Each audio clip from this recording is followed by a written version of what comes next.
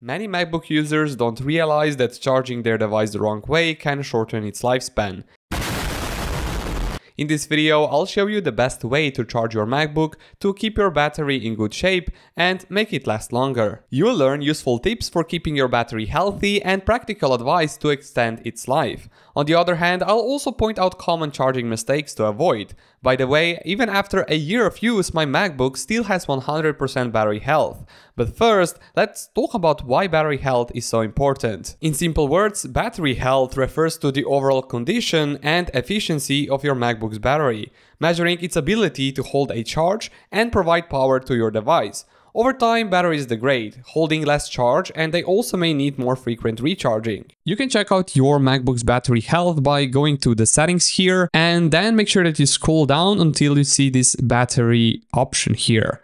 Then under the battery health, click on this small eye icon and here you should see your maximum capacity which for me is 100% after only about a year of use. Now there is also another way how you can actually check out your battery health as well as battery cycles. So here on the top left you will see your Apple's logo. Once you click on the Apple's logo you can hold down the option key and here you will see system information option. And then under the hardware you will go to the power option and here you can see your cycle count as well as your maximum capacity of your battery. MacBooks use lithium ion batteries which charge faster, last longer and have a higher power density than traditional batteries. These batteries reach 80% capacity quickly using fast charging, then switch to slower trickle charging to extend battery life.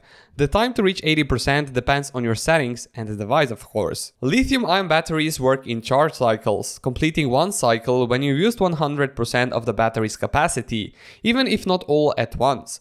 For example, using 60% of the battery one day and 40% the next day equals to one charge cycle. While battery capacity diminishes slightly with each charge cycle, Apple lithium-ion batteries are designed to retain 80% of their original capacity for many charge cycles, varying by product of course. Now, with macOS Big Sur or later, your MacBook includes optimized battery charging to enhance battery lifespan. This feature delays charging past 80% in certain situations learning your charging habits to ensure your Mac is fully charged when unplugged. This reduces the time your Mac spends fully charged, thereby prolonging battery health. My takeaway of using optimized battery charging is that it takes time to learn your usage patterns. For me, it took about 3 weeks to limit its charge to 80%, but if you don't have the same schedule every day, then the battery will charge itself to 100%.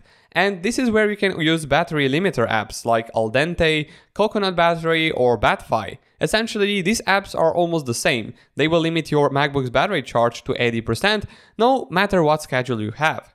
If you are interested, I will leave a link for them in the video description below. And now let's talk about what Apple recommends to maximize battery life and lifespan. Basically, the key takeaway from their website is that you always update to the latest version of macOS and optimize your settings like use the energy saver preferences to manage power levels, dim your screen to the lowest comfortable brightness and turn off Wi-Fi when not in use to save power disconnect peripherals and close unused applications. I think that the most important part is written down below under plug in and power on your MacBook to charge other devices title, where it's written make sure your MacBook is plugged in and powered on when you're using it to charge other devices via USB.